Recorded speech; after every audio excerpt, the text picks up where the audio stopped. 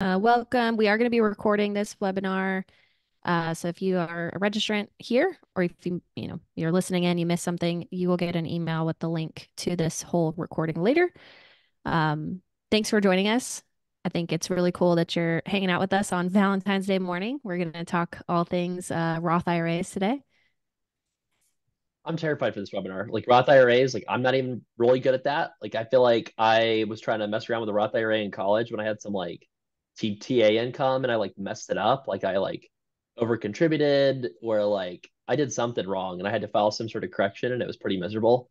So straight up, I'm I'm a little nervous about today. like, and how is this?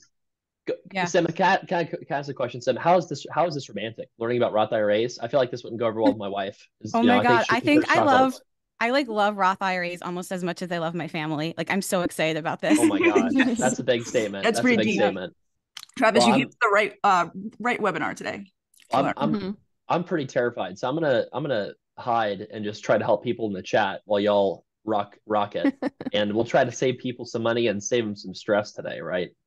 Yep. Cool. Well, thank you guys. Thanks for joining. Yes, we are going to be recording this and sending it out later to the registrants. Um, also you know i'm super excited that you're joining live today. We'll have a lot of time for q&a later. So that's a great chance to interact with us with like real questions that you might have or just getting some elaboration on things that weren't super clear. Um, there is a q&a section that you'll be able to drop your questions into. Please try to drop the questions in the q&a section so we can mark which ones we've gotten to by the end of our conversation today. Um, and we'll have a few consultants in the chat just helping out with some questions uh, in the chat and in the Q&A section. But um, I think it looks like the chat is working, but if uh, you wanted to drop your profession in the chat, I'd love to see like who you are. You know, are you a physician? Are you a PA? Uh, an RN? Where are you coming from? Vet? Awesome. Got Cupid. Saw... Cupid's in the house. We have Cupid here. attorney. Oh, sweet. Chiropractor, naturopath. Sweet. So really great financial planner. Cool. I was like checking. It's like, is that one of us? No. All right. Well, let's jump on into it. I'll go ahead and share my screen. Oh, yeah, I saw you got a shout out. All right. So Thanks for joining us again on Valentine's Day. We are super excited for this conversation today. We're going to talk about Roth IRAs. And what kind of prompted this was in our tax webinar a couple weeks ago, we had mentioned somewhere, somebody had mentioned that if we do a filing separate status for student loan purposes, right? Because we talk about that a lot to keep our student loan payments lower. If we filed taxes separately, it was mentioned that we can't contribute directly to a Roth IRA and our chat blew up with questions about what? I didn't realize that. Oh my gosh, I've been contributing and I've been filing separately.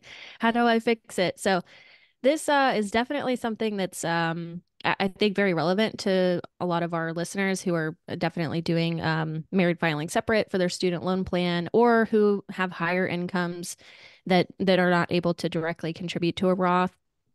So we're going to talk about backdoor Roths today, that yucky pro rata rule. You've probably heard pro rata before, and if you haven't, we're going to talk about it uh, a lot today. And how we can still love the Roth IRA because it is a pretty cool bucket. Sim's favorite bucket outside of the HSA. Sim, you are in the right profession for being nerdy about all these topics. we're not even think about the HSA today. It's all Roths today. Roth is getting all the love. Mm-hmm. Yep. And um, sorry, we forgot to introduce ourselves. I'm Megan. Uh, we've got Sam and Sim on the call, and Travis is in the background, so he'll pop in every so often. Um, but let's jump on into it. So, who is the backdoor Roth, and why do we love her so much? So, we're gonna try to keep it to a Valentine's Day theme today. Put some funnies in here, make you guys giggle as we have this conversation. Um, so Roth, uh, Roth IRA actually came out, I think, in 1998. Um, but it in, in the Roth 401k started coming out around 2006. So I remember hearing about it in high school and it was like everybody's dad thought it was like the coolest thing since sliced bread. Like, oh, have you heard about a Roth IRA? So I, I remember like when it started getting popular, um, and it's still pretty popular. People still really love it. It's a post-tax retirement savings vehicle. Um, so we don't get a tax deduction, but that means when we put money in, uh, we're we're taxed on it this year. It's just our income that we put into it. Um, we put money in, it's post-tax. When we take money out in the future for retirement, it's completely tax-free. So that's a pretty cool vehicle because other traditional buckets are taxable when we take money out in retirement. Now, uh, the bucket is not huge. It's 7,000 a year for 2024. Last year, the maximum was 6,500. So we've got a max of 7,000 a year that we can do starting this year. And if you're over age 50, we have another thousand that you can contribute. Um, there are some income limits to being able to contribute to a Roth IRA directly. So that might be the first um, introduction you may have gotten to a backdoor Roth. Um, so a backdoor Roth, uh, we'll talk about the mechanics here in a bit, but basically it's a way to get around not being able to contribute, right? Because if we can't contribute directly, you might think, at first like oh man well i guess that's just not an option. Well it is. There's there's a backdoor way around this this equation. So um if we make too much uh then so single there's a phase out period between 146,000 and 161,000 if we're within that range of income um then there's a phase out period where we we just it reduces how much we can contribute over the course of the year so not 7,000 but maybe something a little less if we're over the 161,000, we can't contribute directly at all. So in comes the backdoor Roth um, part of the conversation. Now, filing jointly, there's a larger phase out, 230,000 to 240,000. But if we're over 240,000 together, filing jointly, we can't contribute directly to the Roth.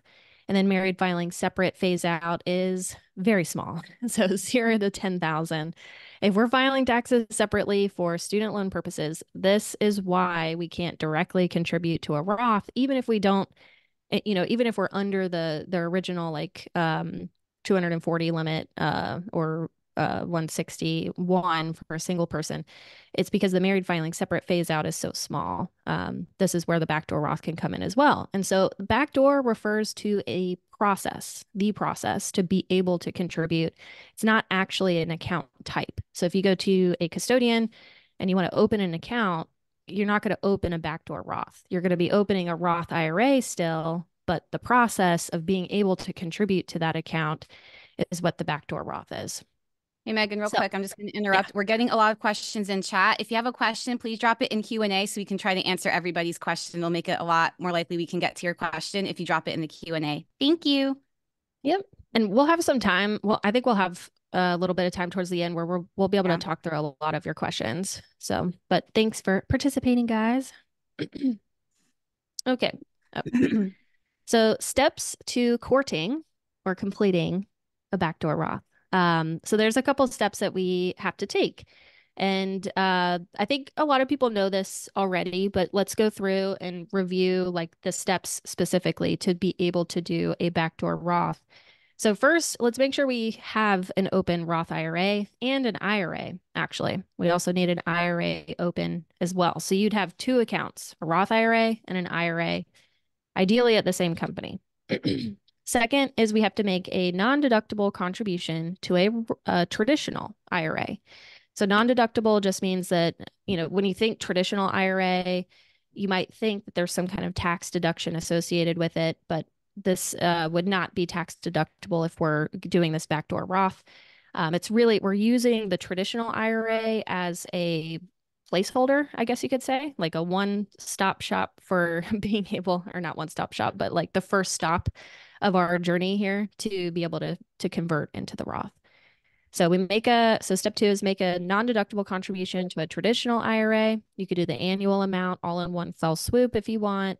Um, a lot of times, uh, administratively, that's probably the the easiest way to go about it. Or else, if you make monthly contributions, you'd probably want to con you know uh, make a con- contribution and then do step three, which is transfer it to the backdoor or to the Roth, I mean, um, right afterwards. So step three is transferring the IRA contribution into the Roth as soon as possible. Don't forget about the courtship, guys. We've got to commit to this uh, Roth IRA conversion. So you want to do it as soon as possible because if there's any uh, growth on what happens within the IRA, um, there's some tax consequences there. So you just want to do it ASAP and you don't want to forget about it. That's the other thing. Like you might make a contribution and then completely forget about it until next year and you're thinking, oh no, I, I forgot to make the conversion. And so there might be some issues there with that. Um, number four is don't forget to invest the Roth IRA funds. Um, there was a hilarious like meme that went around a long time ago. I'm a millennial, so of course, like we speak in meme talk, um, and reels or t- you know reels because we're millennial millennials, not TikTok. Um, but there was one where it was you know a picture of a plane, like visualize a plane with like the stairs leading up to it. You know, we're we have the plane, which is the vehicle, like the the Roth IRA. We're loading the people up onto it. That was the next picture. So we're putting money into it. And then it kind of alludes to the fact that you forgot to take off, right? You forgot to invest it. Like don't don't forget to invest the money. Don't leave it in cash. Um, and then the last step here is to report the conversion on your taxes. There's a couple tax forms that you have to um, complete or have as part of your tax filing. So the 8606 form, the 1099R form, you need those receipts, guys. So we'll talk a little bit more about those uh, tax details here towards the end. Um, but anything you'd like to add to that, Sim? I saw you laughing at my, I don't know what joke, what lame joke. Oh, the, just that we're millennials. We don't do TikTok. And I was like, that is so true. I felt like I felt so seen by that comment.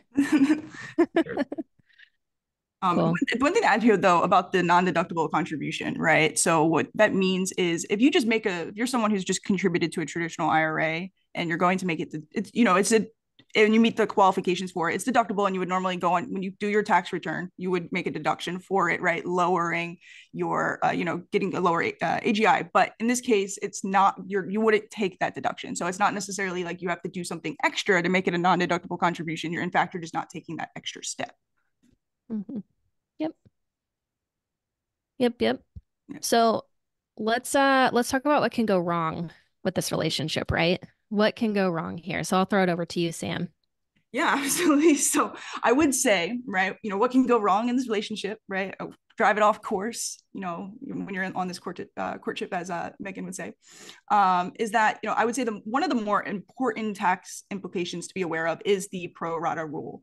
Um, I would say most mistakes over time commonly happen here um, and it's more just for lack of information or the person you're working with has lack of information there, right? And this is where we're going to tie in some tax forms a little bit. And this is where uh, Sim is going to get down and dirty later uh, to get more into to the weeds here because she loves this personally to talk about. Um, is that when you report, you know, when, going back to reporting, right? When you report a Roth IRA, you know, conversion on an IRS form 8606, you know, there is a pro rata calculation made right? The num uh, the numerator is going to be the amount converted, and then the denominator is the total amount of all IRAs, kind of uh, not necessarily like employer plans or Roth IRAs, um, but all other IRAs. Um, so it's important, you know, that you report these contributions and also conversions on your tax return, that form, right? That is what uh, that form 8606 is supposed to do. It gets it on the record. Um, but some of the actions you take affect that, right? So moving on from that, right? Uh, I think kind of going in order here, there's different issues that we see that come up, right? The first one is maybe you don't convert within the same cal- calendar year. I would say out of all of the mistakes, this might not be the worst. It's, it's, it's inconvenient, right? And not clear, um, right? Or it can make it less simple for the process, right? Like if you made your 2023 IRA contribution in April 20, for, right? Instead of reporting both the contribution and the conversion on your 2023 taxes, you would report only the contribution there, right? Um, but I would say um, the one that we were talking about just previously, right? The timing issue, right? Interest accrues on the IRA before being converted. So it's we talked about being pretty quick, not dilly dallying, uh, or you know keeping it, you know, uh, having the account already open.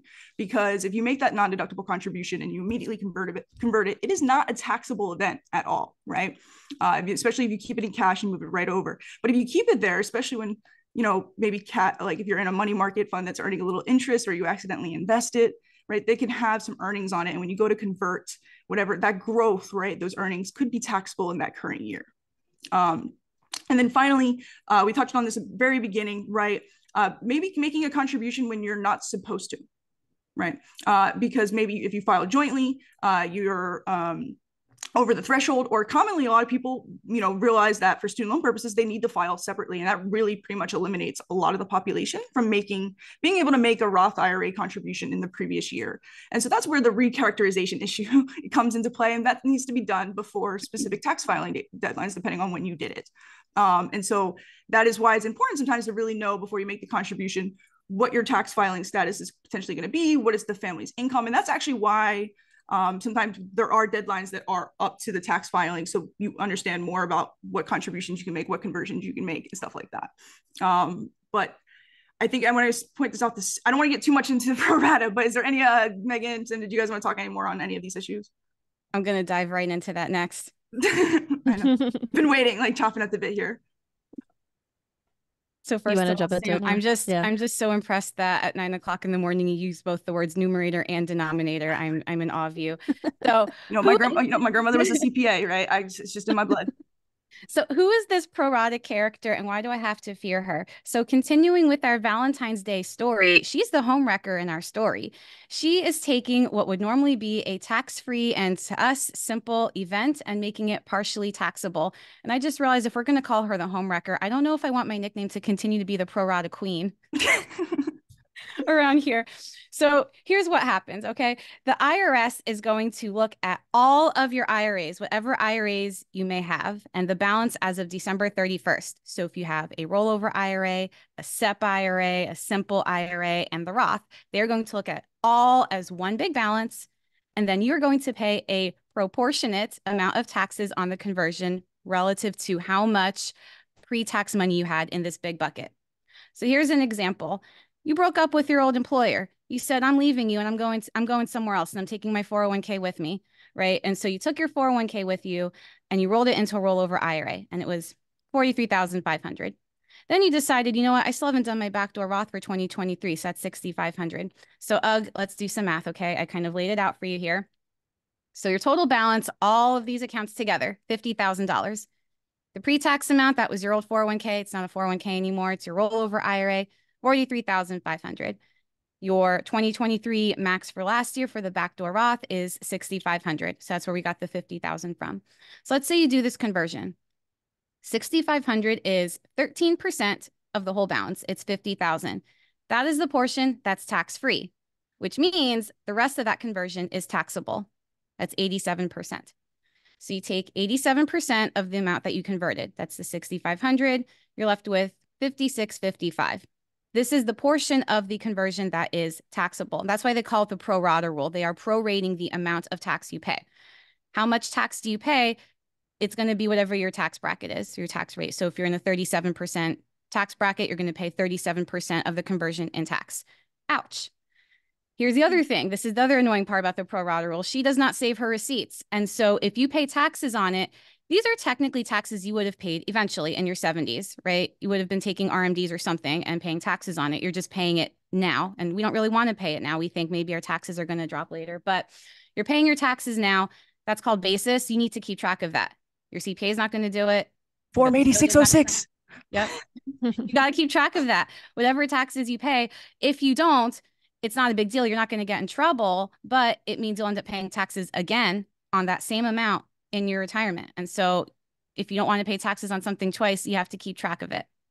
Mm-hmm. And to back up too, like I think where this might resonate with a lot of people is um when you're doing a backdoor Roth, right? Like you you aren't anticipating an extra tax bill. And this can create an extra tax bill for you in that year that you didn't expect. Um, so while it might not be a huge amount, it's still like a couple thousand potentially, depending on how much your your um you know your percentage is. Um, that that could be in your tax uh filing for this upcoming year. So this is why this this topic is so important. The pro rata rule is something that we have to pay attention to.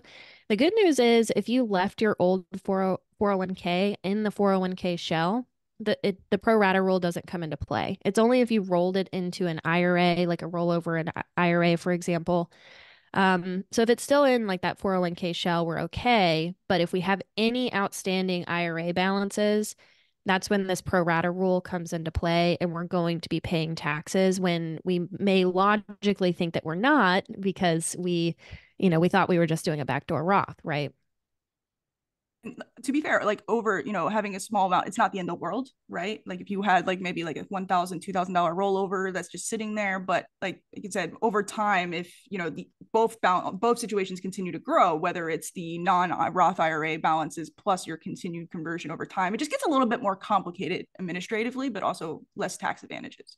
So we're going to talk more solutions now, I think. Yes. Yeah. Solutions. We're not going to just be all doom and gloom. We're going to actually so, show you the, show you the we, love, how to fix it. How do we deal with this little home wrecker on Valentine's Day? How do we fix it? So you can avoid it in the first place. I called her a wench. I thought it was so funny. You can avoid the pro rata wench by, like what Megan said, just leave the 401k alone. So you can still break up with your employer. Most of the time, there's no issue with leaving your 401k or 403b where it is. There are a few exceptions. Some employers, if the balance is really small, like less than 5,000, they may force you to move it, but mm-hmm. otherwise you can keep it where it is. And by the way, 401ks and 403bs do come with like certain protections, and that's kind of outside the scope of our talk today. But um, there are a lot of good reasons to to keeping it where it is. The only downside I can think of is you may have some record keeping fees um, that they didn't charge you while you were an employee, but for keeping it there, right? But that's one option to avoid the whole headache. Let's say that you already moved it out though. Now you have these IRAs. You can do what's called a reverse rollover so rolling the traditional or rollover IRA, or even if it's like a SEP, like whatever the the pre-tax IRA is, you can move it to a workplace account. The 401k or 403b, we call this exploring your options on Valentine's Day.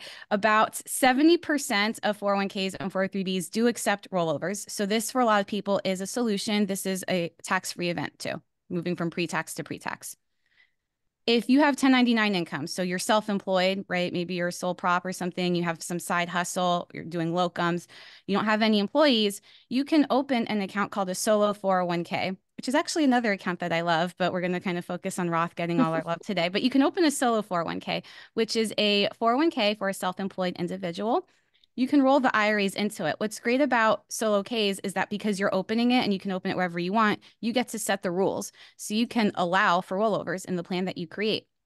We call this opening up the relationship. So now you're opening up to another account type.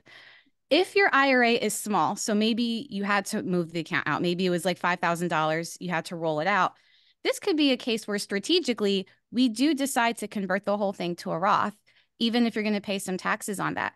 This is potentially a great idea for someone who maybe maybe just finished residency. So you're, you're in a low tax bracket and you know next year you're going to get that sweet attending salary. So you're going to be a much higher tax bracket. This is the time to maybe do the conversion. And now for the rest of your career that money is going to grow tax free in a lot of cases just because i love after tax money so much i have recommended a lot of people do that strategy and if you're in a lower tax bracket.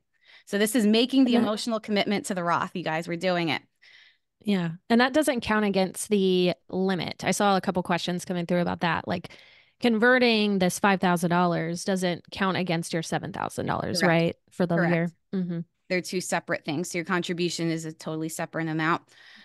And if you did make a mistake, right, maybe you ended up contributing to your Roth, you didn't know that you were going to be above the AGI limitations, you didn't know you were going to file separately because you didn't do your student loan plan yet, you have to do what's called a recharacterization.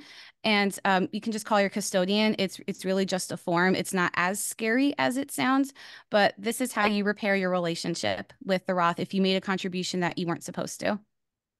Mm-hmm. Like recharacterizations yep. have gotten like a lot easier over the years. It used to be like kind of like a paperwork nuisance, but you know, it, most custodians have an easy, simple, seamless process. It just needs to be done before the tax uh, tax deadline. And just to uh, mm-hmm. uh, clarify too, what we mean by recharacterization. So you made a contribution, it went into the Roth, you weren't supposed to. They're going to take it, pull the whole thing out, and put it in your traditional IRA, and then you're going to go back and convert it. So if that sounds stupid mm-hmm. to you, that's because it is. But th- these are the rules that we have to work with. Um, call your congressperson.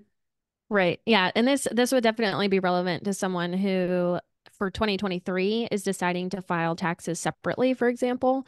Um, this is a common example I see where we're having to do a recharacterization because they didn't realize, oh, I didn't realize I was going to be filing 2023 separate. So I am like, I made way more than $10,000, right? Because that's the limit for married filing separate. Um, I'm going to have to fix what I did last year. So I made a contribution to the Roth. I need to fix it. So that's how you can fix it. You can recharacterize it, which just means moving it over to the IRA and then you can convert it back to the Roth. So it, it is silly, but backdoor Roth, this is what what we're faced with. And it's okay to ask for help too on the in yeah. these cases too, right? Yeah. Like you know, that's that's just something that we work with our clients a lot with on, um, especially during this, you know, especially since we usually recommend file separate, and then we have to help them with yeah. recharacterizations.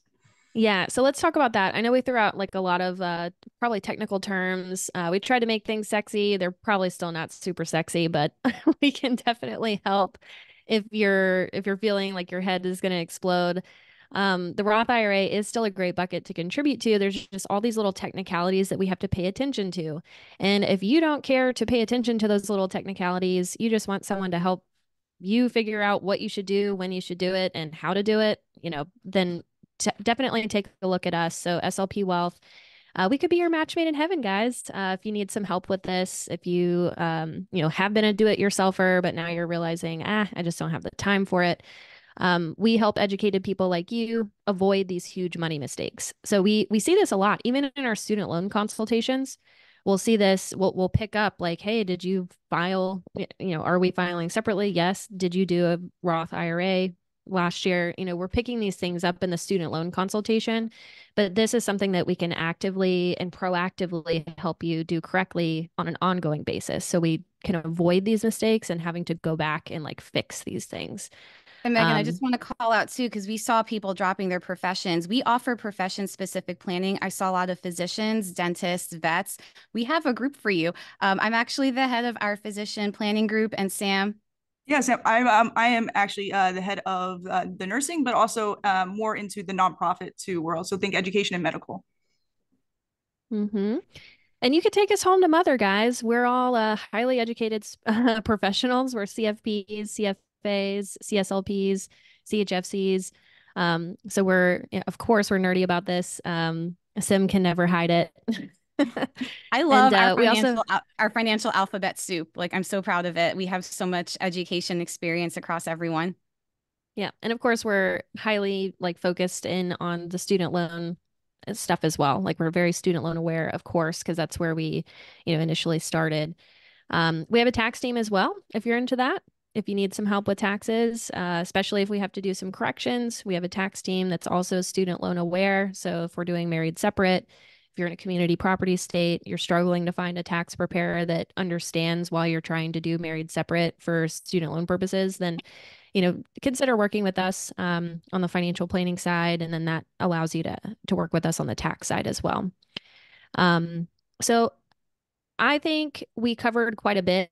Um, let's go back and talk about some of the questions that came through, though, because I think that can really drill down onto some of the topics that we chatted about today. Um, one of this the questions that I saw though was about the phase outs. So I'll just put this back up on the screen for a second. Um, so there's an there's two kind of components to why you might need to be considering doing a backdoor Roth if you're wanting to contribute to a Roth IRA in the first place. Um, so there's a phase out from an income perspective where we can't contribute directly to a Roth IRA if we make more than a certain amount. These are the phase out limits. So for single, not married, this is where we're at. If you're between 146,000 and 161,000 of income, you're not going to be able to contribute the max, the 7,000. It's going to be a smaller amount. Um, but if we're over 161,000 single, we're not going to be able to contribute directly to the Roth IRA. The phase out for married filing jointly, if we're filing taxes married jointly, uh, is 230 to 240. If we're over 240 together, we cannot contribute directly to a Roth IRA. Insert the backdoor Roth here. And if we file separately, which a lot of our, our folks are doing for student loan purposes, it's very unlikely you are making less than 10,000. So you are probably going to have to be, yeah. have you guys have a, I don't think I have a client that meets this, this or come across someone recently that can actually meet this phase out. Not a professional client. Yeah, Maybe yeah. we do have some stay, stay at home parents that might fall into this category, but, um, I want to comment still... too on the phase out. If you're in the phase out, it's probably just worth it to do the backdoor Roth as opposed to figuring out, okay, I can do mm-hmm. 2000 into the Roth directly and then I have to do 5000 backdoor Roth. Like just backdoor the whole thing. So it's one, yeah. one event. Mm-hmm. And one thing that was one big question. just to kind of repeat because I am seeing questions come through. Like there's the word con- contribution that Megan has been reviewing right now, but then the conversion, right? The conversion doesn't have a dollar limit, but it does have a tax implication potentially uh, imposed on it, depending if you're not doing it with the timing issue, right? So just you know, just make sure that like when you're doing the backdoor Roth, there the conversion actually doesn't have a limit, but there could be different implications if it's not done correctly, which we reviewed today, right? Um, mm-hmm. But it's the contribution that these phase outs um, that we're talking about right now. Another yep. question that came in was Can you contribute to both a traditional IRA and the Roth IRA? So, technically, yes. Across both, though, you can only do the 7,000. And so, typically what you'd want to do is pick your strategy and stick with it. Are you going for a pre-tax deduction if you're eligible, which um, a lot of you might not be? There's some some rules around that with a traditional IRA, or do you want to do the backdoor Roth and get that sweet after-tax growth? So usually you kind of pick one and stick with it, but just know 7,000 is across both. So you can't do 7,000 into your traditional and then 7,000 into your Roth and you know, I do want to be mindful that we have a lot of professionals here carrying potentially six-figure debt, which is we is normalized, right? But so we want to be careful about saying like the Roth IRA is great, it's queen of everything, right? Tax-free money in mm-hmm. retirement. But one thing we're mindful of, as especially in our practice, is that should you be making other types of contributions, right? We would love Roth IRAs and the diversity of taxable, different taxable income or non-taxable income in retirement. But whether you should do it is going to be very personalized and individualized, and so that's why make, connecting with someone who knows more about your situation instead of on a general level can be useful. Mm-hmm. We do have the booking link in the chat, um, but also this is a QR code you could pull it up with if you would like to schedule a meeting with us. If you've already done a student loan consultation with us, our financial planning is just 99 a month if you'd like to join and we can help you with this. Um, if you have not done a student loan consultation with us, this link will take you to book that first. That's um, kind of the introduction to working with us overall. A lot of your financial planning can stem from what we do with your student loans. So it is really important to start there so we know how to tackle that big elephant in the room, right? Then we could start to move on to other financial planning conversations, other goals that you have, like the backdoor Roth. Um, so use this link if you would like to work with us. Um, it'll direct you to your profession specific group. So uh, like Sim said, we have a physician specific group. We have a dental uh, specific group. Um, we have the nonprofit space and um, nurses too. Uh, nurses too. Yep. As I say, Sam's part of that. Hey, Megan, can I just comment too? That mm-hmm. 99 a month, you guys, is a really big deal because no one else is offering that. If you kind of were to shop around, you're probably going to be looking at five to 10,000 a year just to access a financial planner who might not even know about the student loan piece, who might not even know about the forms you need if you're doing filing separately in a community property state. So where I don't want to say we're like the cheapest game on the block because we're really good at what we do. We're efficient, we're tech forward, and that's why we can charge what we do, but we won't always be able to charge 99 a month. And so if you want to get in on that pricing, book today. If you don't have a student loan plan, we'll get you set up first at a really good discount, and then we'll take care of your financial financial planning. So use our QR code, slpwealth.com slash book. I was going to say swipe left, but I realized I don't know if that's left or right. I have never been on Tinder, you guys. I've been married for think, nine years. I think it's so. like uh, swipe right. I just know that. Swipe right. Swipe right is, is good. Okay. But yes. I would say, you know, also, you know, I think Sim and Megan can talk about this too. Is like, you know, traditional financial planning is probably, you know, you might meet with a planner that charges you $13, $1,500 up front, meets with you for an hour, delivers a plan over another hour, and then that's your plan for the next 20 years. You know, with our clients, we typically can sometimes meet with them up to, especially in the first year, you know, four times a year, right? Maybe five if we're really focusing in one area area uh, because we're working with you throughout the year on your uh, you know financial priorities and we like to have fun. We're not your yeah. granddad's financial planner. We make inappropriate jokes on Valentine's Day. Like we know our stuff, but we're also not super buttoned up either. So we, we hey, uh, love what we do. Hey, Sim, speaking of, of making inappropriate jokes, um, so you know how like you might have one squeeze, which is the Roth IRA, and then another one comes along and might change your life and might be a better option for you right? Okay. So I was working on some spreadsheets while y'all were talking, just for fun, funsies. Um, by the way, in the Q and A, if you want to ask a question to, to folks, put your question in the Q and A. Um, if y'all are down, if if if I could have maybe like five minutes while y'all just like go into the breach of the Q and A where we're getting inundated mm-hmm. with questions, sure, um, sure. which would be wonderful to tackle those. And then I wanted to talk about why I'm going to just play devil's advocate for a moment and say why there might be a more spicy option for people than just the Roth IRA. I'm going to play a little devil's advocate and see what you think. see if you think I'm off base here. But yeah, we definitely could uh, use some help in the Q and A because I've been trying to uh, parry the many arrows, and we want to get all the arrows answered. um, sure. So, uh, so you want to share your screen? Yeah, I'll share my screen. Uh, so let's see here okay. if I can share it. Uh, let's see. I, I think I got to get permission. If you want to give me permission to share screen still. Um, oh yeah, you may have my permission. Let me. I just noticed it. Travis has the real Travis. I uh, love that Travis asked for consent. well, I, on Valentine's Day, yes. It's important yes. to. It's important. To, oh gosh. On all gonna, days, actually. I'm gonna. Yeah, all days. Gonna, Thank you, Sam. all right. So, uh, all right. So here's so here's this little fun uh, spreadsheet that I was playing around with. So just to show, first of all, the importance of a backdoor Roth, like why fool with this at all, right? Like why is this? I'm gonna I'm gonna actually take Sam and Megan's side first and say why is this the best thing since like sliced bread? Well, if you put in your yearly contribution for your Roth, which you know they tend to like increase it over time, it's not going to be exactly this, right? But they tend to increase it like right like 500, you know, every other other year or something like that. So I'm assuming that they increase the Roth IRA contribution over time. And then right here in this first column, I'm looking at like the growth over time of the Roth. So I'm just kind of assuming like a 7% rate of return. And then I'm assuming you just consistently do it every single year. And I'm assuming this is just for like one person, right? Um, so if you're, you know, in a long-term relationship, double is good, right?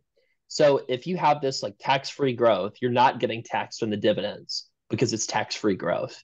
And so that's compounding at that 7% return without what we call a tax drag.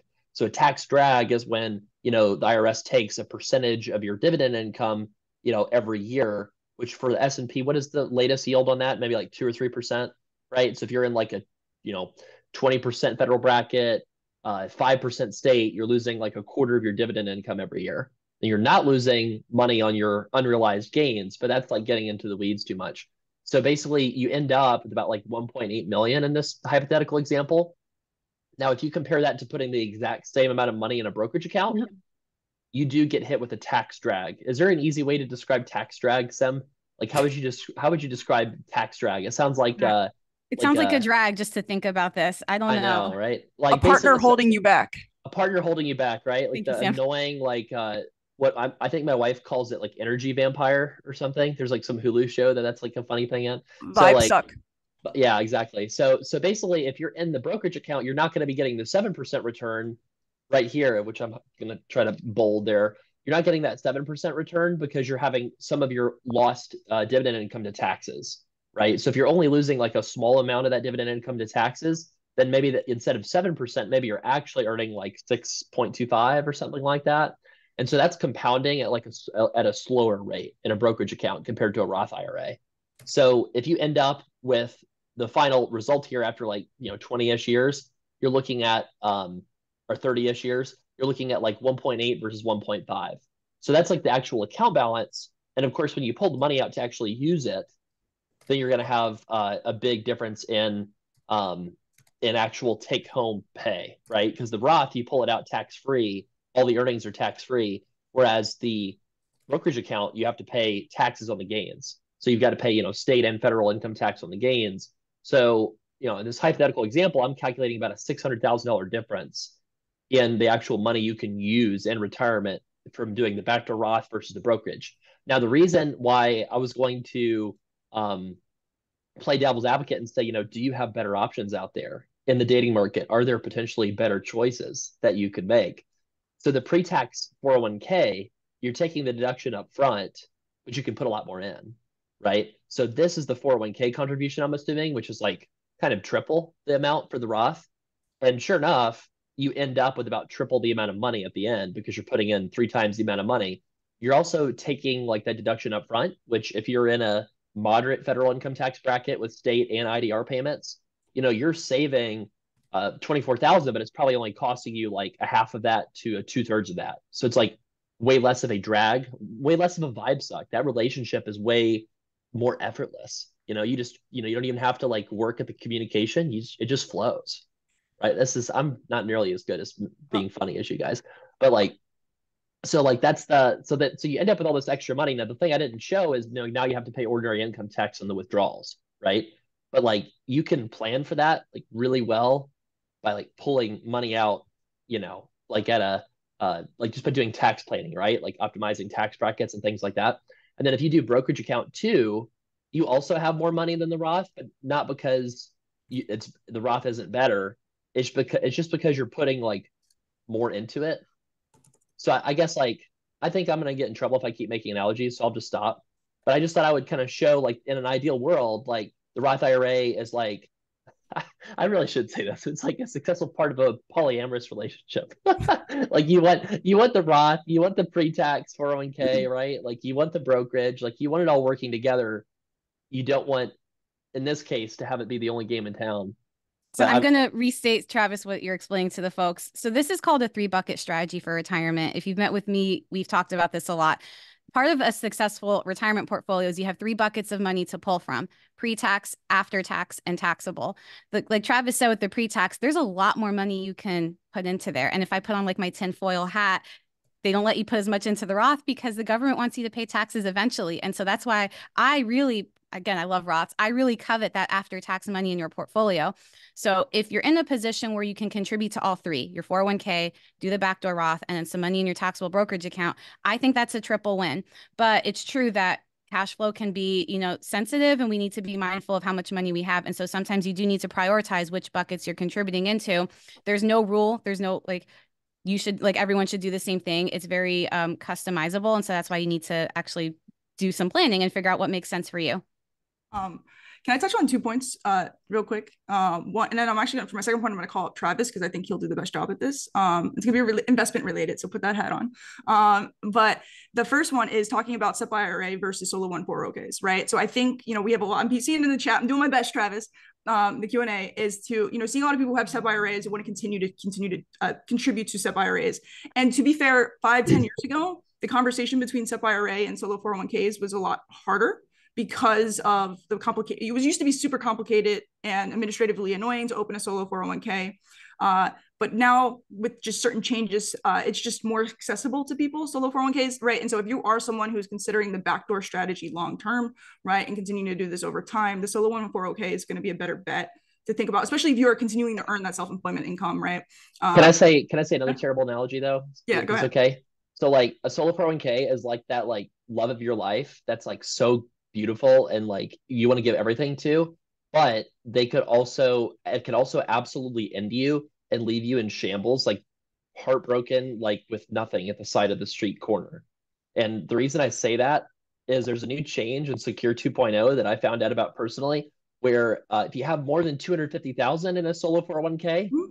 then you have to report the solo 401k balance a certain way a very specific certain mm-hmm. way and if you don't, there's a fine of $250 per day. So if you find out about that reporting error, uh, like, like after a while after you file something, Travis has been burned. That's, I feel like that's some personal trauma. That's some personal relationship trauma going on there. I just uh, feel like Travis didn't read the terms and conditions of the relationship, and he got burned. There's but a reason why I hired SLP Wealth because I realized that like not even I can pay attention to all of the like the regulations and like stuff like that. Like you think that I would have known that, but like you know sometimes love's a battlefield. Just being mm. honest, right? It's hard. I mean, uh, so so I, I agree with you though. I agree with you. Like solo 401ks are much much better than SEP IRAs. Like SEP IRAs is kind of like that like good enough boyfriend or girlfriend, it's, right? It's, like, it's that high school love when we're talking about true love, right? You know, like, so, should I settle? Like, it's okay, like it works, but like, you know, but like solo 401k is that like, wow, this is like the forever person. But the problem is, is yeah, like, you know, you better still pay attention. You better got to keep investing that relationship. Otherwise, like you might, you might get just shocked one day. I mean, so, um, but I think too, like, thank you so much for taking out the Q and A. I wanted to like say one more thing. So like y'all all three i see your like client satisfaction scores like y'all rock. Like you change people's lives. And like the typical rate for it's true though. It's really true. The typical rate for like the kind of service that you guys provide to clients it's literally like $500 a month minimum. That's like the typical rate. And like especially for profession specific planning right? Because you can get like $30 a month like ai driven financial planning that they're going to tell you to put money in a roth. And it's like okay great thanks. Like what else? so I think that that's the real like incredible value for the $99 a month is just like having profession specific advice. It's also specific to student loan borrowers. That's the other thing that you're not going to find anywhere else, right? Like all the other algorithms and planning firms are just not going to understand what y'all go through, what the people watching this are going through, right? Um, so I don't know. I think that that's like I don't And I don't think you're exaggerating, Travis. At, at the previous firm I worked for, you would start pricing at 5,000 and that was just for very like bare bones planning. I mean, the pricing could go all the way up to 10 or 15,000 depending on how much, you know, extra assistance you wanted. So I think what we're doing is actually like pretty revolutionary because we're trying to make financial planning accessible for everybody and not just people who can pay like a big price tag. Yeah, yeah but and like I think go ahead. Go ahead, Megan. Oh, I was gonna say there's uh there's someone in the chat with my spelling, Megan, M E A G A N. Um, I I was telling, I was joking the other day. Like I literally, I have two clients right now with the same spelling as me, and I've never met another Megan that had the same spelling. And now you guys are popping up all over the place. So I guess I'm not all as unique Megans. as I thought. well, and, and two, we got a lot of SLP Wealth clients on this webinar too, and we want to say thank you because it is it is a bear to try to do this. There's all these regulatory requirements. Like one time, I got a call from like like people like regulatory people like 7 a.m in the morning and sim or sim saved me and like took it over. I mean like there's all these like huge expenses of running an ria because all these you know just rules to protect investors right? Uh, but it's also like really exhausting. And so every time you sign up it's also investing in us trying to like spread this mission of helping people and transforming people's lives and getting people to where they deserve to be and helping people find true love in their finances right? I mean i don't know like probably i should just chill. But um but i think the so that just to uh, the could you maybe y'all explain a little bit too with that that slpwealth.com book link? What are like the two paths that that would take people down, depending on if like they've worked with us before or they haven't? If you could just state that one more time. Mm-hmm. Yeah. So yeah. Okay, oh yeah. go ahead. No, you go. say if you have not done a student loan plan with us before, you will go down that route, and you're going to get a is it two hundred dollar discount, Travis, off of a student loan plan. So we'll get you set up there first because again, we're doing student loan informed financial planning. You need a student loan plan first. Um, after the student loan plan, you will then meet with one of our financial planners. And if you are looking for a um, profession specific group, you will be routed to that group. If you have already done a student loan plan with us, then you can start right away. Um, you know, if you're a physician, if you're a dentist, you'll be routed to those groups. If you're working in a nonprofit, you'll be routed to Sam's group. If, um, you know, we don't have a profession specific offering for you yet, right? And well, we're, we're building this as we go. So we might offer your profession soon. Um, we need more people to sign up. And, uh, you know, if we have like a, lot of pharmacists, we can have a pharmacist specific group, but that's, that's the path you're going to take. Mm-hmm. And I will say too, our I, I do want to elaborate on our planning process because I do think we, uh, by nature, I, I feel like all of us are teachers in a way, like, and we do legitimately have career changers that were teachers in their past careers. So I think that's pretty cool because our goal is to really help you feel confident in your financial situation and your financial plans and what you're trying to do with your finances. Um, I think we're big believers in just helping you feel more and more confident with your situation versus just telling you what to do and then having you just do it. Like we, we like to be part of the process with you and part of the education. Um, so I, I think uh, if you're someone who's newer to financial planning, if if this stuff is you know stuff that you're really trying to learn now, the financial planning process is going to be super helpful to you because it's not going to be just general information thrown at you. It's going to be, hey, this is your situation. This is why we're going to do it this way and this is the impact that it's going to have to help you get towards your goals. So i think that's a good way to maybe explain our financial planning process as well as it, it is pretty educational and it's friendly for folks who are brand new to financial planning um, just looking at this for the first time. Hey megan can you put the qr code back on the screen for folks Oh, yeah. Like it's a good uh, just to have that partner to help you make decisions about things you wouldn't necessarily even like consider, right? Whether it's your cash flow, whether it's your retirement optimization, whether it's also investing, right? We had a handful of questions here because we told people in the process of the Roth backdoor, right, to convert their and then invest it, don't leave in cash. And some people were like, "Well, how do I invest it?" Right. And so I uh, I don't know if uh, I'm not gonna have Travis go down one of his like uh, you know, our talks here on investing, which I know he would love to do. But Travis, I would want you to, if you could give like a minute kind of like spiel about like some of the considerations we take into not just necessarily investing into a Roth, but those three buckets maybe, right? And how that matters. Travis, talk about investing. It's like better than like a box of chocolate. Sam, thank you so much. I mean, by, by the way, we are having like a lot of people looks like book today, so that's really cool. So we've got like a bunch of dentists in the dental group that just signed up, a couple of nurses, I got some nonprofit people. So like this is pretty exciting. So thank you all for believing in what we're doing. Uh, you know, that slpwealth.com slash book link, again, will take you to the right place. I mean, so for the, the three buckets, like Sim, one thing that's like really exciting is like I'm working with you, right? You're my and Megan too. Y'all two are my advisor for the SLP Wealth. And like the big thing that I realized is like I don't really do a lot of the things I'm supposed to do because I'm so busy and tired all the time. Like Can I give an example? I have a great one for today is yeah. when you're looking at your stuff, you had a Roth IRA that was sitting in cash. What? That's yeah. I've got to. I've got to like. I've got to. I feel so uh, good that I discovered that. I was looking at stuff. I'm like, oh my god, Travis. I I'm like you know I'm it's really hard to embarrass me like that, Sim, in front of hundreds of people, but you know, I'll take it. I mean, like, hey, you know, we're the, not perfect. The thing, but the thing is, is like, you know, the the big, I think like when you're single, everybody believes that you can DIY without ki- like if you're single without kids, right? Like real talk. Like I think everybody believes you can DIY your finances because they're simpler. But then you get married and then like you kind of need somebody kind of almost like as like the inter like the mediator between like two people's distinct dreams and goals and, and financial like priorities. So like my wife doesn't care about finances. The Roth IRA was under her login at Vanguard, and like you know I had to like get a text message for two factor authentication whenever I wanted to look at her account, and like you know it's like whenever I like would do the Roth contribution, like I would like settle it in cash because we would invest it later. I don't know, I probably should have invested it right away, but like and then like I had to get my wife to like give me the key the code to like log into her Vanguard account like to invest it. And like guess how important that was to her? Like not not at all right? Like there's always something like way more important than like putting the Roth IRA money to work because she doesn't really care about personal finances. Like she cares about surgery and like that's what her priorities are in life and so like that's how it ended up in cash for years. Actually the same thing happened in my HSA like and that was actually totally on me Sim it was just like I mean you know to defend myself like you know that was you know we're I'm blessed that was a portion of assets right? So it wasn't like it was like the priority for me to like get that money to work but yeah i just it just uh it just i just it slipped my mind.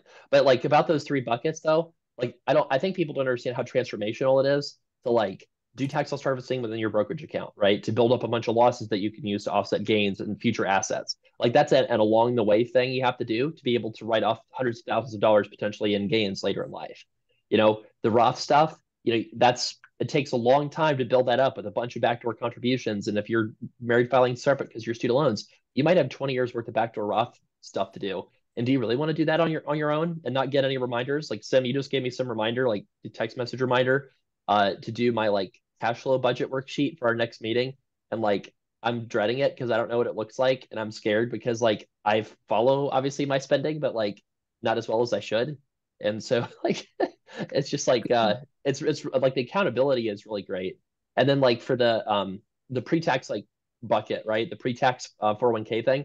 So like you're either going to be rich or you're not. If you're not rich you're going to be in a lower tax bracket in retirement and having a bunch of pre-tax assets will be wonderful and then you can optimize the withdrawals for those to make sure that all the withdrawals are in like the 12% tax bracket instead of the 22% tax bracket right so like that'll be a big opportunity and then i just learned about this so this is another really embarrassing thing. So maybe this was like the embarrassing Travis day, but like, you know, when you pull out RMDs, right? If you're charitably inclined, Sam, I think what can you do? It's up to hundred thousand dollars to charity. Or is that right? Is that right? I think it's a hundred thousand, right? Yeah, it's hundred thousand. It's like a qualified. What is it called? A qualified charity. Qualified charitable distribution (QCD). Yeah. So if you have like millions of dollars in a pre-tax you know you have more than enough to live off of well now you can take like 100k a year of your out of your rmd and like write off the entire thing and like not pay any tax on it so you didn't pay any tax contributing you didn't pay any tax along the way to grow it and then you pay like no tax when you're contributing it to charity and so what a wonderful like way to like i don't know just live life. Like if you have a bunch of money you don't even need right? So there's all these like strategies on strategies on strategies that y'all are talking about today. And like roth i feel like it's like how to deal with like one relationship. But like you've got all these ones that i don't know should be i should shut up. Like i think i think travis just like kind of really hit the point like maybe not even intentionally is like personal it's all integrated. They're all connected right? Like one contribution links to the other. Diversify diversifying your income with those three buckets in retirement diversifying the assets within those three buckets to make sure that they're optimized for your tax situation in retirement and that all lines with retirement optimization. So you just saw right there how investing, retirement, and uh, taxes are all connected, right? And so that's why it's so helpful for us. Like we love having kind of working for a firm that where we can do everything from student loans to financial planning to tax planning, right? Um, the perfect ecosystem is what we're working on. Man, guys, we got through 70 questions. I don't know how we did it, but we did. I don't even think Scotty was supposed to be in this like webinar, but he's like helping out with all these questions, so I love it. I guess he also loves Roth IRA. That's amazing. Scotty, I see you. Appreciate you. You know, we didn't talk about, and I'll kind of maybe we should end here, but it's Valentine's Day. And so if you don't even care about strategy, I mean, financial planning can just be a way to like preserve the harmony in your relationship if you and your spouse either like argue about finances or just like can't seem to communicate about them. Um, megan and I did a podcast yesterday and we were talking about how, you know, divorce is very expensive. And so nurture your relationship, like buy buy your significant other, you know, flowers or whatever they like, like show some kind of appreciation and that can in and of itself pay dividends. Could I do one more spreadsheet, or is that like just oh my God. really overpowering? Go for it. Travis will you know, his love. Go, Go ahead. It. We'll personally right. enjoy it. I can't speak for the audience. All right. So I'm just gonna pretend for a moment like that somebody's got a hundred thousand dollar portfolio, okay? And then all right, so this is like portfolio size. All right. This is a really complicated spreadsheet, so buckle up. All right. So what is like the typical like percent chance of divorce like in America, would you say? Why are we talking about that on Valentine's Day, guys? I know. Well, divorce, let's go with a because we're gonna keep people together. We're gonna keep people together. Let's say the, the divorce rate has dropped. Let's say it's about forty percent or so. All right, forty percent, and then in a divorce, your assets get split in half, right? And we're gonna talk later about these how you know these stats, but okay. All right, so there's so the so the expected well like that's like the total probability like cumulatively right so what's the probability in any given year would you say like 3% or 4% like in any given year? Sure, for the sake of illustration, why not? All right, so 0.03. So that means Travis, can you zoom in on the spreadsheet for the people asking? Sure. I'll, I'll, I'll just I'll just make it simple, right? this is so sorry guys. It's Valentine's Day. What what are you doing, Travis? You're killing us. All right, I'm just gonna I'm just gonna say this, right? So 40% chance of divorce, say you've got a hundred thousand dollar portfolio and you know you lose half when you when that happens. So it's like okay so 50% loss 40% chance of divorce. Money is like one of the most common like reasons people split up right? So that's like expected value risk value at risk that's if you use like a financial term like 20 grand. What if you reduce that probability of divorce just a little bit just by talking about your money goals having it outlined, like working together towards those goals. You know, if you're being if you're charged five ten thousand dollars a year, like maybe that's not like that great of investment, whatever. But like if it's pretty cheap, that's my main point. I just I, I should we